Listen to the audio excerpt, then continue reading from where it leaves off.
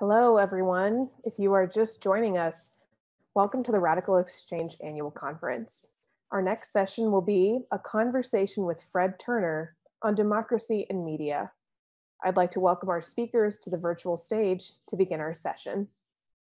Um, hi, Fred. Nice to uh, nice to see you. Thank you so much for uh, for joining us today. Hi, Matt. Pleasure to be here.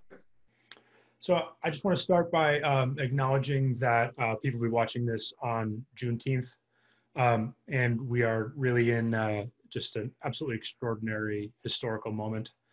Um, and I think it's it's important that we that we consider that. And in, in my view, your work actually um, has a sheds a lot of light on some of the ways that systemic racism and oppression have perpetuated themselves um, over the years, and um, maybe that will will come out a bit in our in our conversation.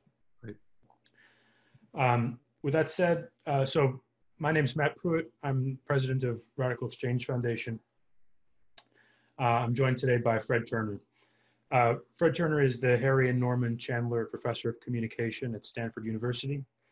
Uh, he's the author of three books, The Democratic Surround, Multimedia and American Liberalism from World War II to the Psychedelic 60s, From Counterculture to Cyberculture, Stewart Brand, The Whole Earth Network, and the Rise of Digital Utopianism, and Echoes of Combat, The Vietnam War in American Memory. Before coming to Stanford, he taught communication at Harvard's John F. Kennedy School of Government and MIT's Sloan School of Management. He also worked for 10 years as a journalist, and he has written for newspapers and magazines ranging from the Boston Globe, Sunday Magazine to Harper's. We are uh, truly thrilled to have you, so thank you. I'm thrilled to be here. Thank you. Um, so I want to say a little bit about what brought me to your work.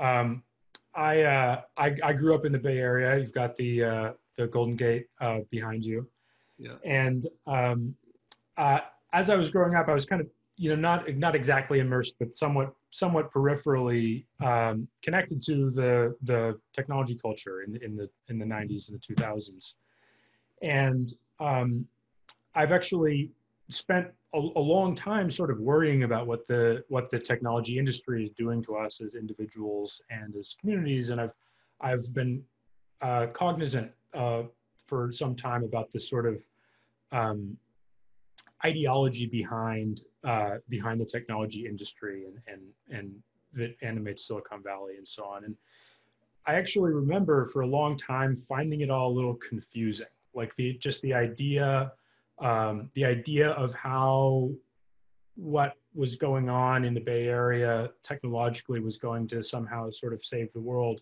I didn't quite get it.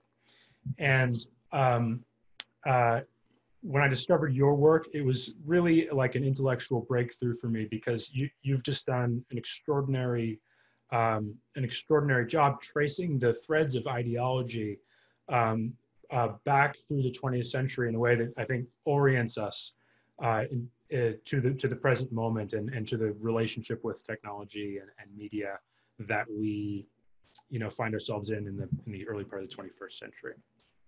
Gosh, thanks. Thank you.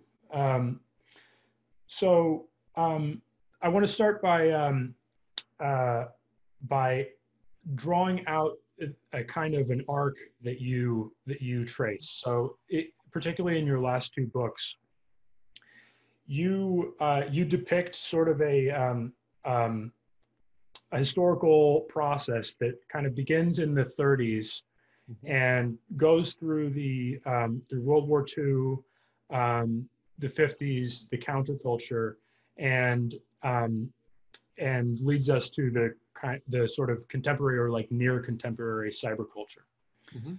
And um, I wonder if you can um, help us uh, put that into context a little bit. Help you know help the, those who are not familiar with your work uh, see that arc so that we can talk a little bit about uh, about the the early parts of that arc. Sure, absolutely. Um, I, I love the idea that we're going to start with with utopianism. I think that's the right place to start, and not only California utopianism, but a kind of deeper American um, hope, even a utopian hope for, democracy that goes all the way back to the first digital computers, late 1940s, even a little bit farther into the research world of, of World War II, um, and the discipline that was at the time called cybernetics. So the, the, the, the key thing about the mid-century that, that still shapes our time, I think, is the effort to get away from top-down systems, mass systems, one-to-many systems. You know, when Americans confronted fascism during World War II, many thought the Nazis came to power because they had mastered mass media, one-to-many broadcasting, essentially. They thought Hitler had, had succeeded in reaching through the microphone, down through the radio, out through the movies, into your mind, and, and, and making you a kind of a fascist. And so the challenge for Americans in that period, especially American media makers, was to build a different kind of system, a more leveled, more egalitarian, more individual centered system. Norbert Wiener, um, a research scientist at MIT, a mathematician, a child prodigy, worked with a group of sociologists, psychologists, technologists, and together in the late 1940s, they began to formulate um, a set of ideas that shaped computing and our world more generally. And those are the ideas of cybernetics. And just very briefly, the cybernetic model is one in which the world is an information system. You are an information producer and consumer, like a computer, and you move through the world seeking feedback. The world gives you feedback, you change your behavior. And out of millions of individuals seeking feedback in that way, each along their own track, according to Norbert Wiener, order will emerge. And in Wiener's vision, that's precisely the opposite of the top down systems of fascism or by the 1950s of communism. So I think that um, I think that people listening today might hear this idea that uh, that fascism was brought about by radio as like it, it almost seems ridiculous. I think, but I mean, you know, I mean, just if you haven't thought about it, but one thing that I'm struck by reading your work is how how extremely plausible this see whether it's true or not maybe it's true maybe it's not i'm actually curious your point of view but I, am struck by how um, how plausible that was to people in the 30s well, it was especially plausible to people in the 30s because radio was so new. You know, many many adults in the 30s had been born in a time like my grandmother, turn of the century, where there was nothing in the house at all. There was, you know, might be a magazine or two, but there was no radio. Maybe you went to the movies once in a great while, no television. And, you know, in that space, radio really was, was something new. It was in your living room. It was um, something you heard and that felt intimate, but that wasn't. Um, the other thing that's important to remember about why they were afraid is, is this one to many feature. We're so used to social media where it's many to many all the time.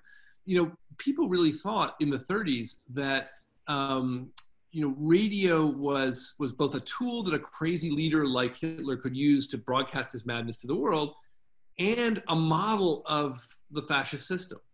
Uh, when you went to the movie theater, some critics thought, um, especially German critics, you you sat in rows, you oriented your attention toward a single screen, and for those two hours, you became obedient. You turned yourself over to the will of a creator. And you know, again, we're so immersed in media now that we forget how terrifying and how powerful wall-sized moving images were at the time. You know, there's a famous discussion of, of French, a French audience um, seeing a train.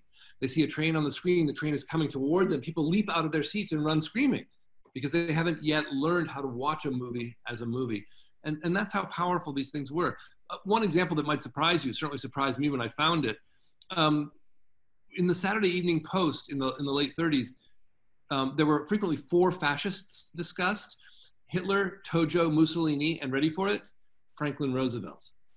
And they called him a fascist. They were afraid that he might be a fascist because he was so good with radio.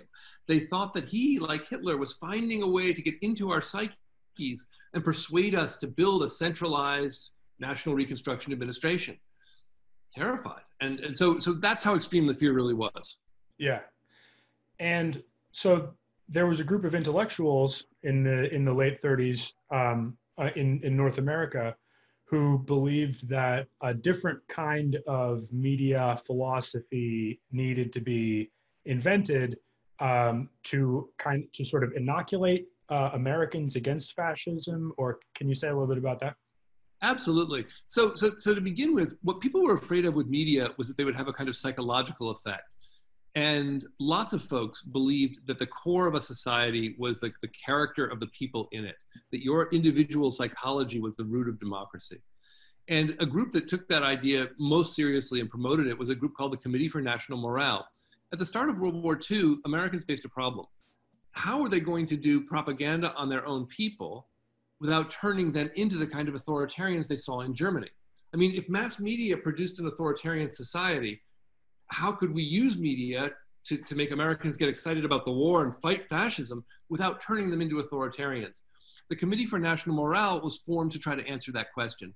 It was led by an art historian, but it featured altogether about 60 people, um, all of America's most elite social scientists, um, anthropologist Margaret Mead, her husband Gregory Bateson, um, folks from, from Harvard's psychology department.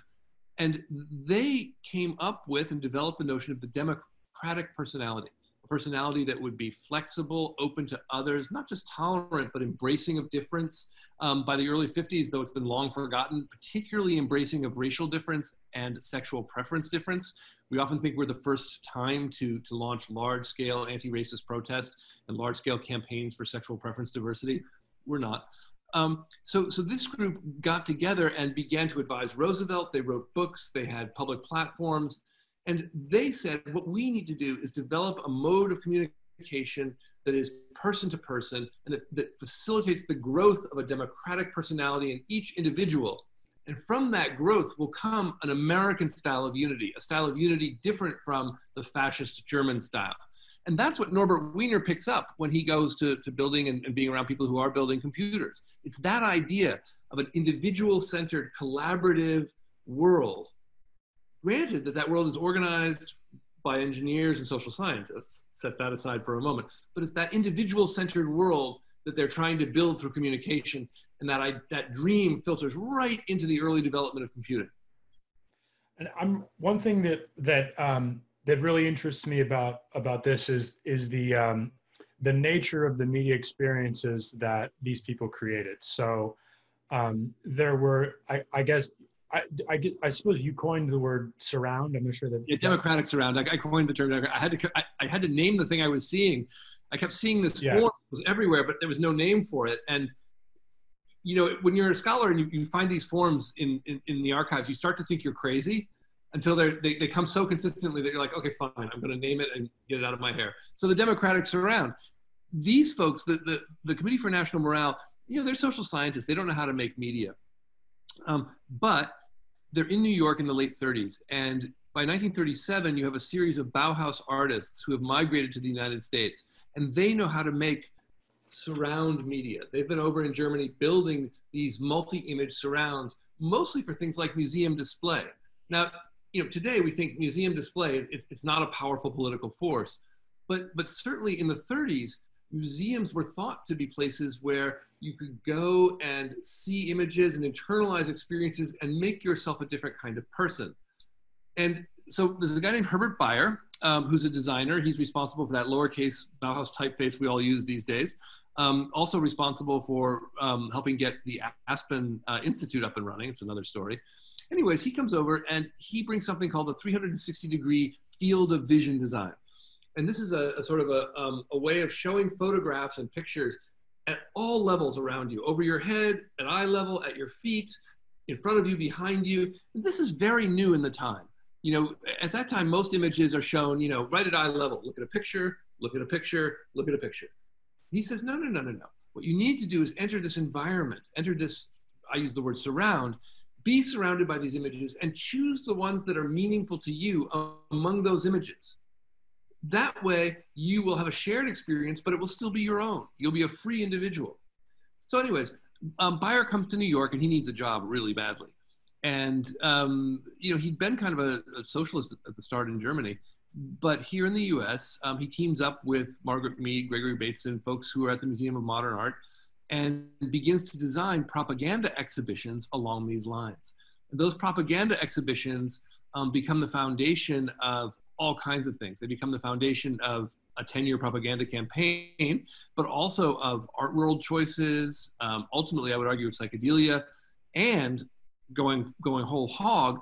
Um, I would argue it's it, a lot of the ideas that are formulated there form the foundation of the kind of social systems, particularly things like Facebook that we're seeing online today. Yeah. And, and, and so, I mean, I guess it's, what one of the things that strikes me about this is the, is the uh, the thought that um, that being a democratic citizen is somehow like a sensory experience of some kind. it's like something that we you know by moving through literal literally spaces or arrays of choices or you know where there are photographs around us and where we're deciding where to place our attention yep. through that process we are uh, giving meaning to something that might otherwise seem formless and there's some connection between that and the and what the united states government you know thought that it meant to be a, a democratic citizen Right, and you know, and it's interesting, right? I mean, you know, the, the Committee for National Morale was not the only group active in this period. There were people who were saying to Roosevelt, "Look, you know, Goebbels is doing a great job with propaganda in Germany. We should do the same thing. We'll deprogram our people later." Um, but but for the committee, yeah, they really believed that the core of every society was a kind of modal personality type. And that and we needed to cultivate a modal democratic personality type.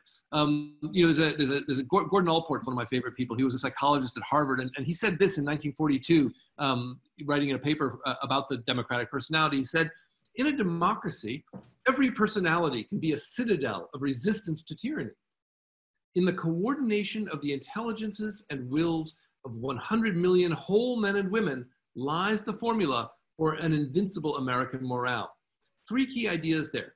Personality is the source of resistance to fascism and to tyranny. Um, coordination rather than top-down domination or hierarchy is the best way to manage that.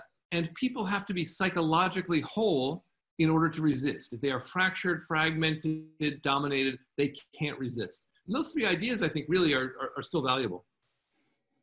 Yeah, um, I think one of the things that comes through very strongly to me in your work is this is this the the tension and the complexity of people with with really interesting ideas about what it means to be a democratic citizen and the sort of ease of appropriating those ideas. So there's just we're sort of always walking this line between. Absolutely. And and you, you picked up on this earlier. There's a way in which these folks want to engineer a free world, and you know to our ears that sounds Orwellian but to their ears, it sounded like the best alternative to trying to dominate your way to a, to a, to a, to a world that you control. It seemed like the benevolent kind of control, right? Um, you know, Wiener called cybernetics um, the science of control through communication. You know, the, the communication can provide these visual systems, these sensual systems that make us whole people. And once we are whole people, we will naturally seek and produce freedom. Yeah, and um, so I'd like to connect this now to the um, to this the the culture of the 1960s. So right there's uh, these these media experiences that are designed to sort of uh, facilitate a democratic way of thinking became in the 1950s avant-garde happenings which became the 1960s be-in mm-hmm. Um, and something happened in that process where the the sort of the character, the pro-democratic character changed in some way. Can you say a little bit? Oh, a lot. Thank you for, for raising that. It's really, it's a really important shift and it's one that we haven't thought a lot about. So, so in the 40s, 30s, 40s, especially the 40s, after, after Germany, you know, launches a fascist state built on racism, the, the, the, folks who are involved in the Committee for National Morale imagine that this system that they're going to build, this visual system, will be radically anti-racist, radically um, pro-diversity of all kinds in American society.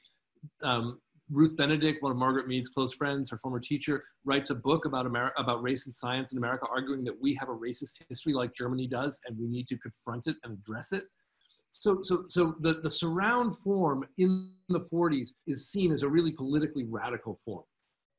As we move forward, you know, it becomes a kind of um, display form that gets used by the United States Information Agency in Europe after the war to kind of try to democratize European citizens. It's sent to Russia famously in 1959 at the, at the um, American National Exhibition in Moscow, um, where a giant geodesic dome, 200 feet across, seven screens showing multiple images designed to help Russian citizens see and engage with the variety that is America, to take it in and to feel themselves as democratic people. All of that's going on. But it starts to, to, to see the, the, the political critique of the 40s fade away. What begins to take its place is a kind of therapeutic consumerism.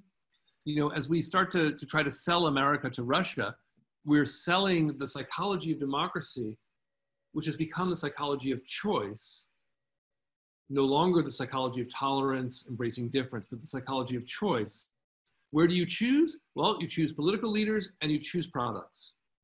And so the sort of Herbert Bayer idea that I will choose images that are meaningful to me and knit together a whole person has started to become I will go shopping and choose consumer goods that are helpful to me.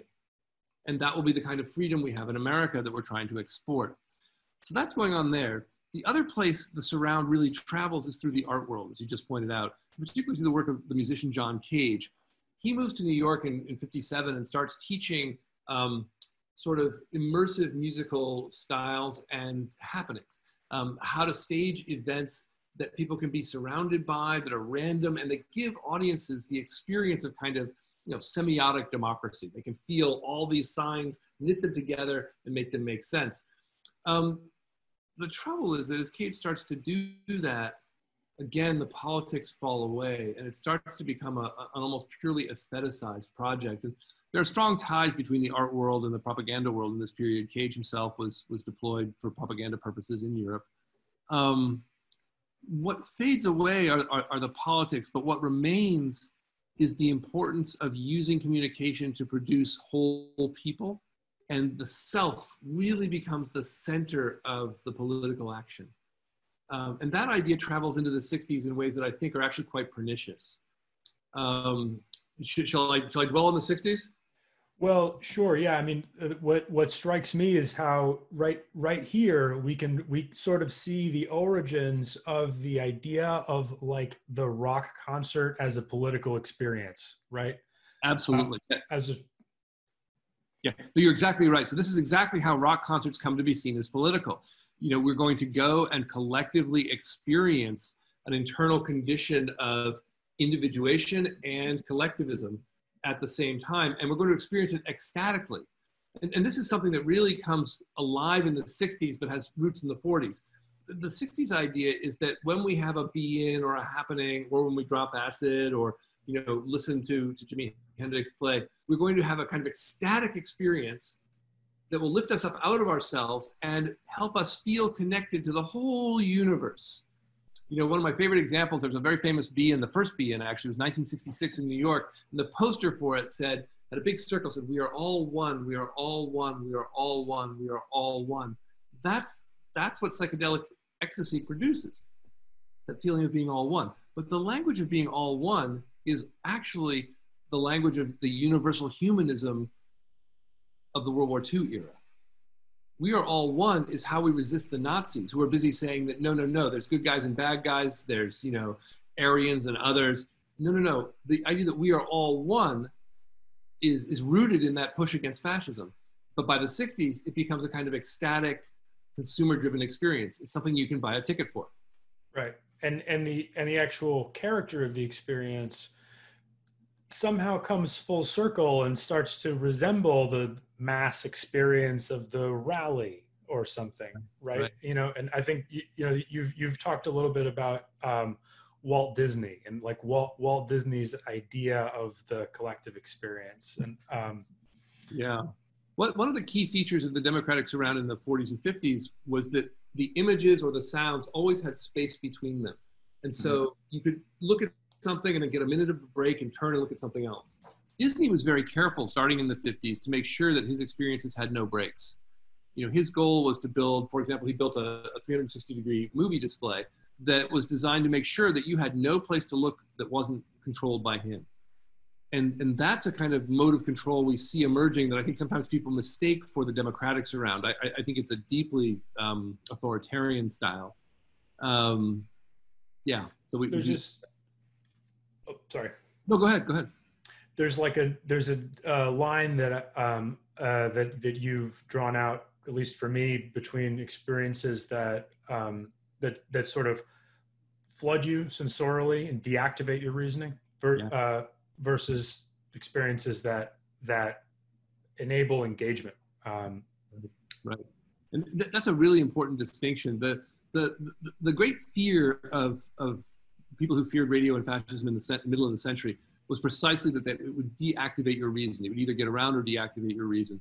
And that was perversely the, the, the great fear as among you know, more traditional Americans, more conservative Americans, as they started seeing rock concerts. It began to look like, oh my gosh, these kids, they're doing what we fought this whole war to prevent. They are becoming ecstatic crowds. Meantime, to the kids at Woodstock, the, the, the men who were leading the fight in Vietnam and, and you know, leading us into ridiculous wars, um, they looked like the fascists too. They look like hierarchical, bureaucratic, you know, engines of, of trouble. Um, and, you know, one of the things that shocked me when I started researching the 60s was how there really were sort of two movements in the counterculture. I'd always been taught it was one movement. I'd always been taught that it was sort of, you know, anti-war during the day, psychedelics at night. And, you know, on the contrary, the new left, which really did politics to change politics, was quite distinct from the commune-based movements that fed into the tech world. You know, the commune-based movements, um, you didn't want to protest. You know, you know, Ken Kesey actually went to a protest and said, ah, don't march. That's what they do. If you want to change the world, go home and live differently. And that idea of going home and living differently is rooted in the 40s also. Be a different person. But by the time it happens in the 60s, it's be a different person by consuming different things. Buckminster Fuller said, you know, take the products of mass industry and repurpose them for your own personal transformation. And once you are transformed, you know, the world will transform around you. You know, we still hear that, um, you know, in New Age speak a lot. Um, and you, you, my, my, my sense is that for a lot of reasons, it was the communalists who ended up coming out of the 60s with an awful lot of influence. And it was in funny places. It was in the tech world. Um, it was in the New Age movement. And the New Left faded away. But I think the New Left had the stronger and more important critique.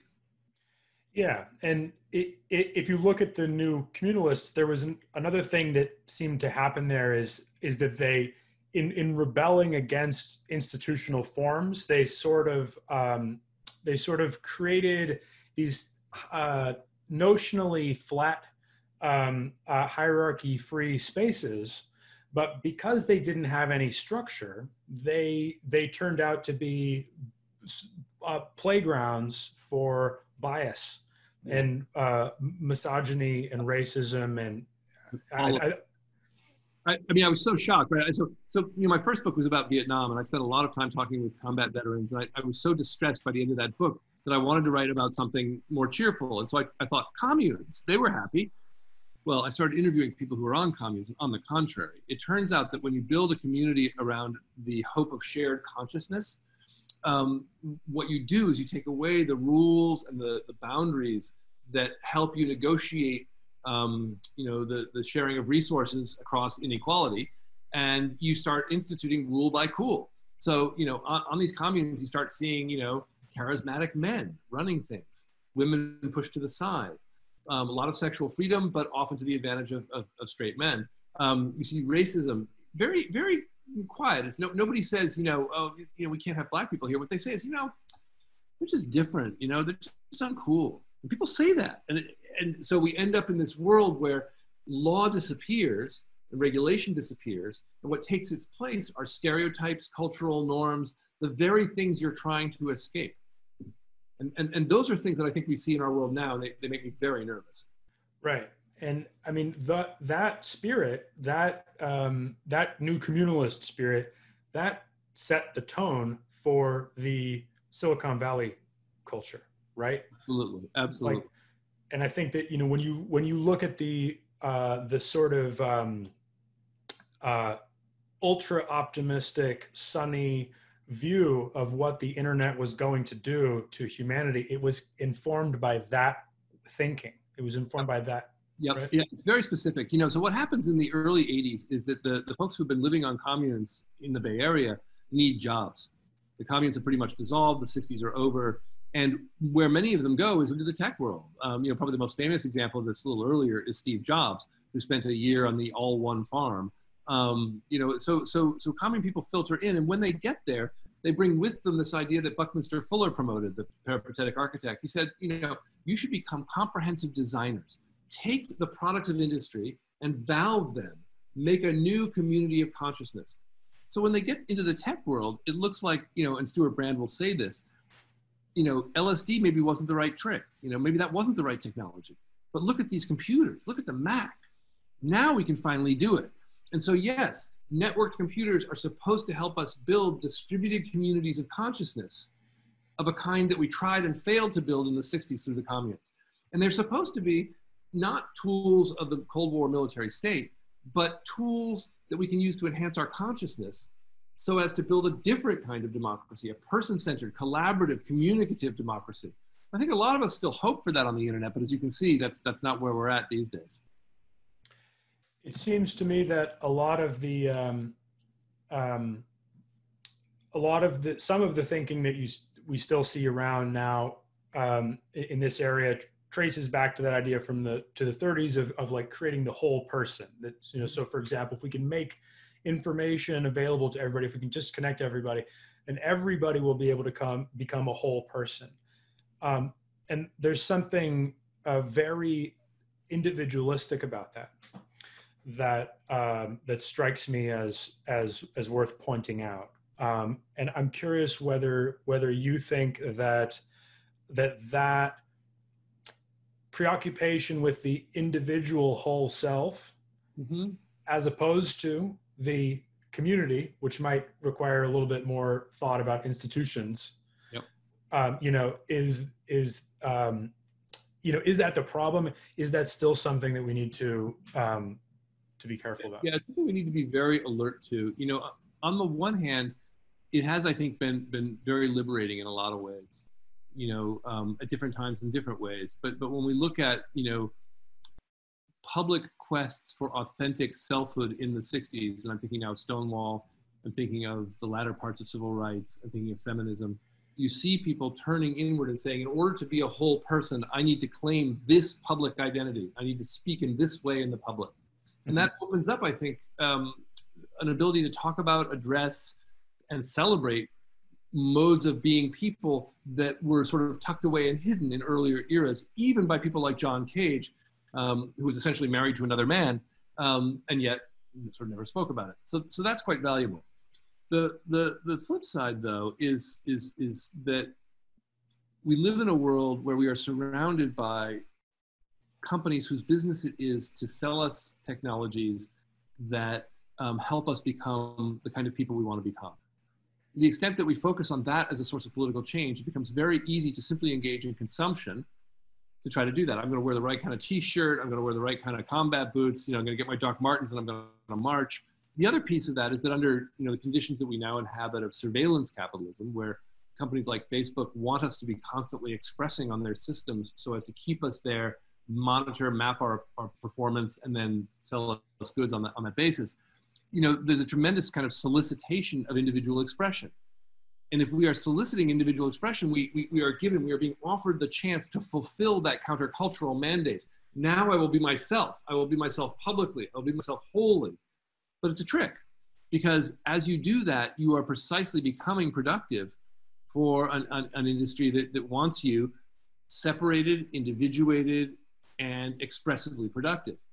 What they don't want, what that industry doesn't want, um, is precisely what you were pointing to. It's the ability to negotiate difference, to call out contractual malfeasance, to invoke laws that apply to everyone, not just to me personally. It's a society that is genuinely public, not personal. And, and I think that's a real challenge to the extent that we're bought into the desire to produce ourselves wholly and honestly and publicly. We may also be turning away from the institution building that will actually, I think, you know, set the stage for that work to be possible and to, to carry through in time. Yeah, um, I'm struck. Uh, uh, I'm struck today uh, as we take a deeper look at our institutions than we've maybe ever took ever taken. Yeah. That um, that there you know there are there as as with almost everything in in your uh, in your work you can see two sides. So. in in um uh because it does seem that we we're having to grapple today with the fact that systemically racist institutions for example other kinds of oppressive institutions have formed us mm-hmm. right and and it is through some kind of of um, breaking the self away from from institutions like there is some kind of of uh, of inward turn that can help us get some of these bad influences out, Mm-hmm. right?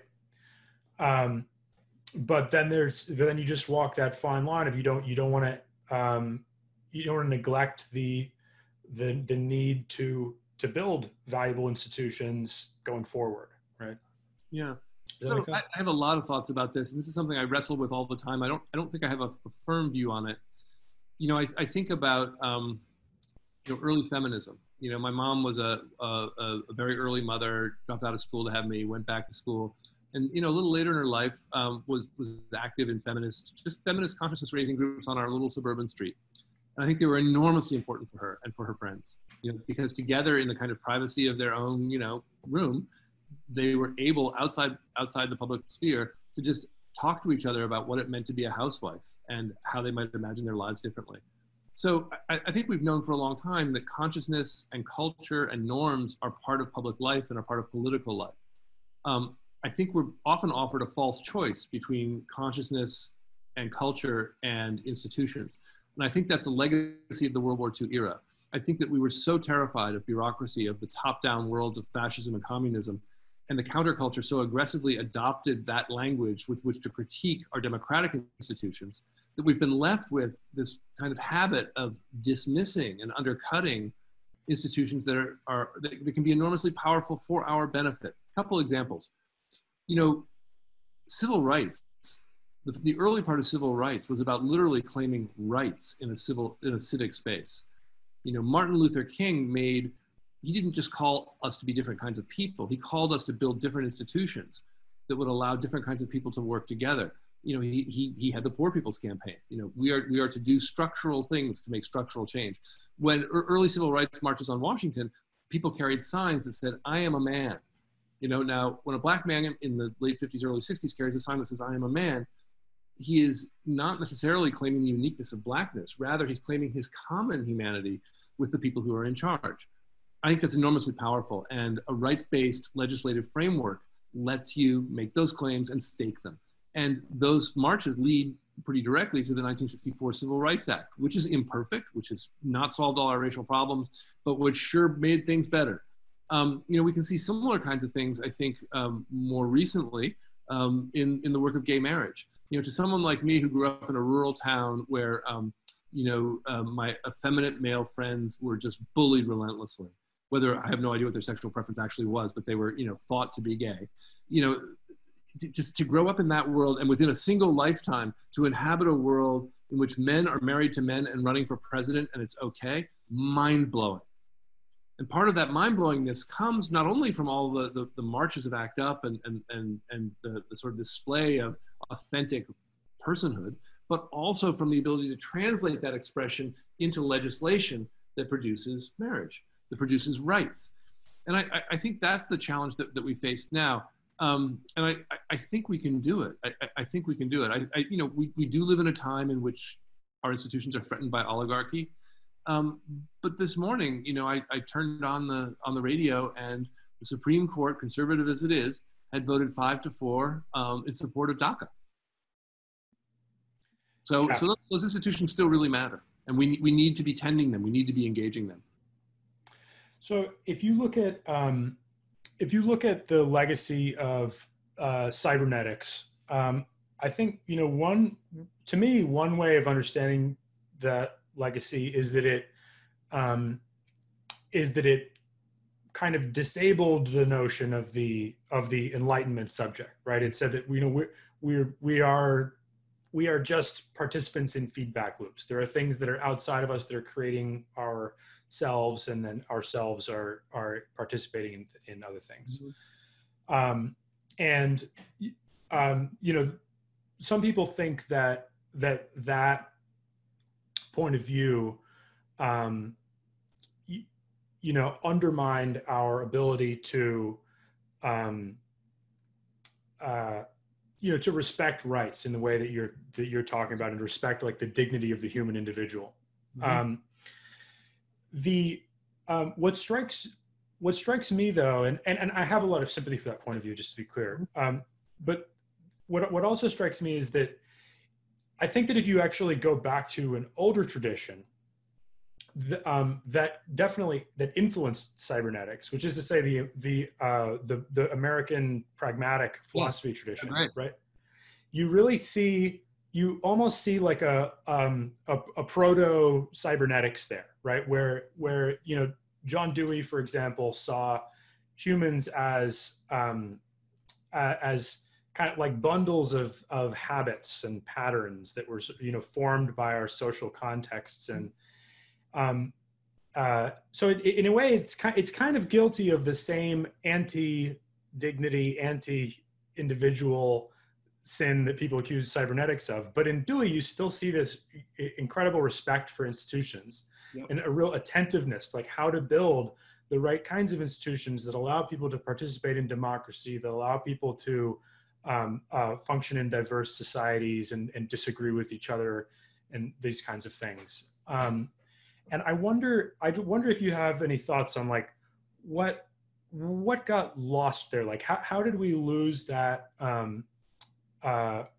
where did we lose track of the ability to understand ourselves as part of systems while also retaining respect for for dignity and, and oh i love that what a great question um, i could write a book trying to answer that question um, the i think that the, the key thing so, so i think the cybernetic self has a benevolent and a malevolent side the benevolent side is the side descended from dewey and it's the side that says we live only in relation to each other i can't move forward in the world without seeking feedback from you i can't know my direction until you until i bounce off of you and you can't know yours until you bounce off of me and, and that's, that's a, a very cheering view. The flip side, of course, the malevolent side, is that the, the cybernetic self is somewhat hollowed out. It's sort of only behavior. And, and, and that's the side that we see computer science taking up today.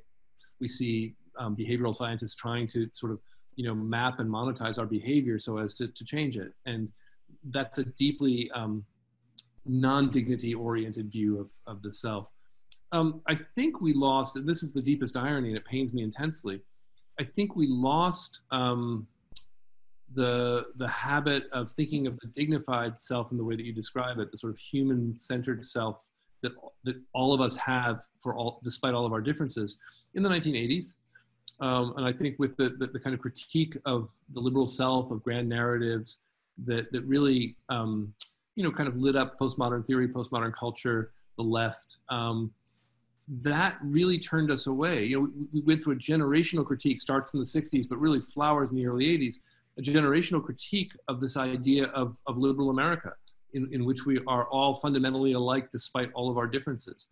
And, and that idea has really gone away. We've, we've, got so good at focusing on and performing our differences that I think we're struggling to um, work across those differences. Now, I will say that I think Black Lives Matter gives us an extraordinary opportunity. It's like two giant doors have just been thrown open. And we have a chance, I think, to, to, to bring back together those two things that have been fractured before. You know, we bring back together the sense of being our authentic selves, but also that relational sense of being together, being our, ourselves together. And finally, the thing that excites me the most is the opportunity to change the institutions we have and, and maybe even build some new ones. I, I, think that would be terrific. Great. I think that's uh, that's as good a place as any to uh, to end. Thank you, uh, thank you so much for this. Uh, wonderful to speak to you. Oh, Matt, thank you. I'm I'm really delighted to be here. Thanks. Excellent. Thank you.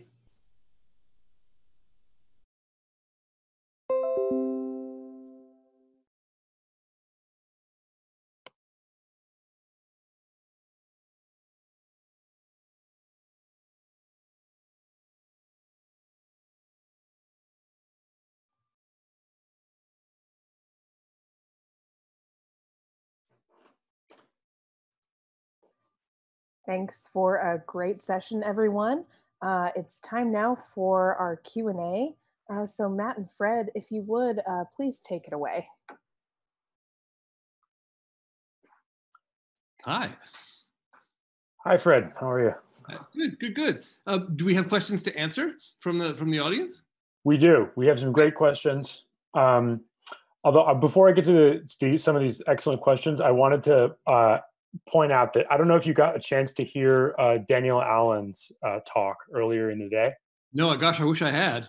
she um, she said something that jumped out at me as like uh, like the answer to the question that we paused on, uh, mm-hmm. basically, which was which was that um, I'm going to sort of um, I'm not going to do justice to the way she put it, but she said that the the way that when we look to define ourselves relationally mm-hmm. In this you know Deweyan kind of way, mm-hmm. the, the she suggested sort of the criterion for whether that works is is whether it's empowering and mm. um, and went on to provide sort of a, a, an analysis of, of what exactly that means and it's just struck me as like the a criterion that uh, could sort of guide uh, guide the inquiry that we were, were um, starting to make there. I love that. I wish I'd heard that. I think empowering matters, and I think also um, making more equal matters a lot, and that's a part of the empowerment piece. I'd, I'd love. I'll have to go back and check that out. Yeah.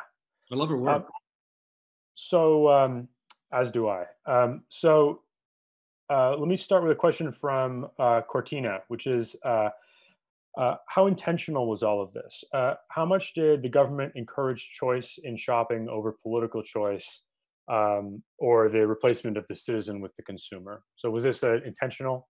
It was extremely intentional. So, so uh, in the early 50s, the United States government got very anxious because the Soviets were promoting something called the People's Communism, and it seemed to be working. It seemed attractive, particularly to third world peoples that we were trying to woo for, for our side of the, of the, of the fence.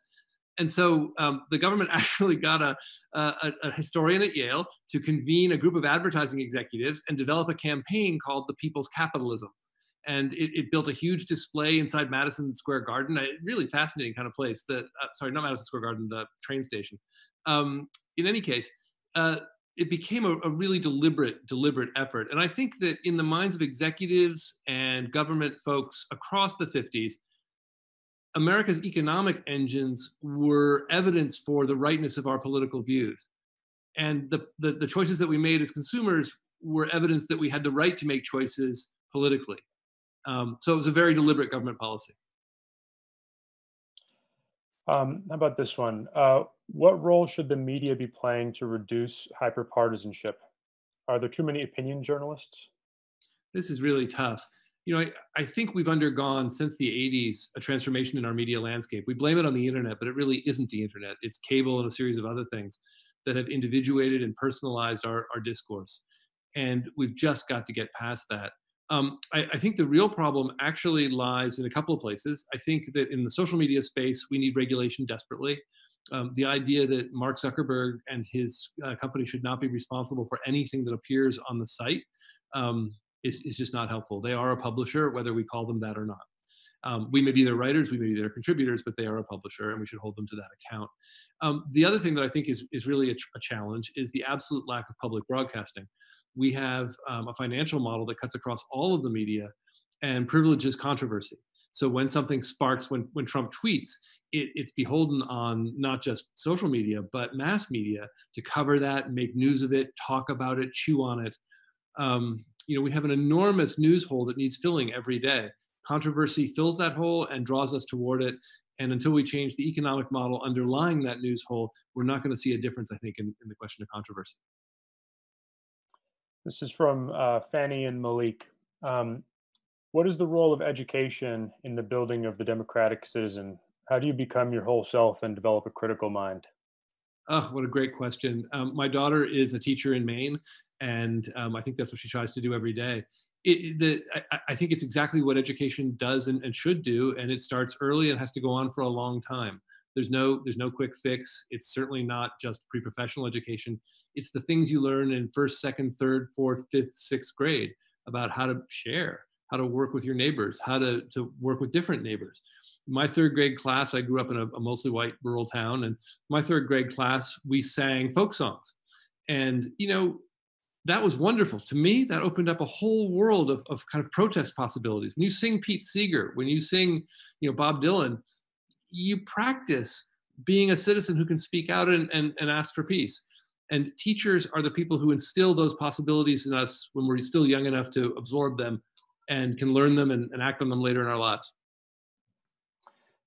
So this this last one is a question that um, could take an hour, but uh, or more, but we've got to do it in one minute. Uh, which is, uh, what are your hopes and fears about uh, ideological developments in the blockchain space? the blockchain space. Wow. Okay. So my hope is that um, we build alternative currencies that allow people to connect in some of the ways that we dreamed of in the early internet era. My fear is that blockchain goes the way of the darknet and becomes um, an almost kind of authoritarian structure, accessible to some, unavailable to others, um, and, and that's my nightmare. Thanks so much, Fred. Um, it's uh, it's been a lot of fun. Thank you, Matt. Really glad to be here. Thanks, everybody.